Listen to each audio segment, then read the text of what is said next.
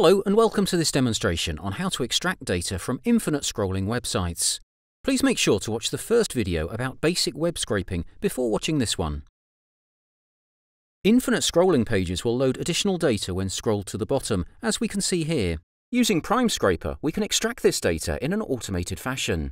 First, load the scraper into the page and select the items you want to extract.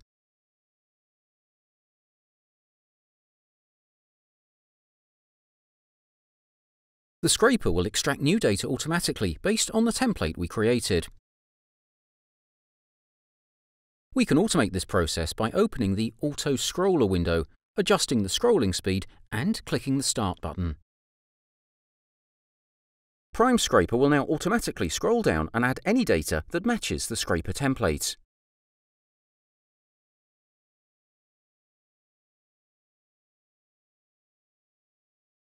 We can stop scrolling at any time by clicking the Stop button.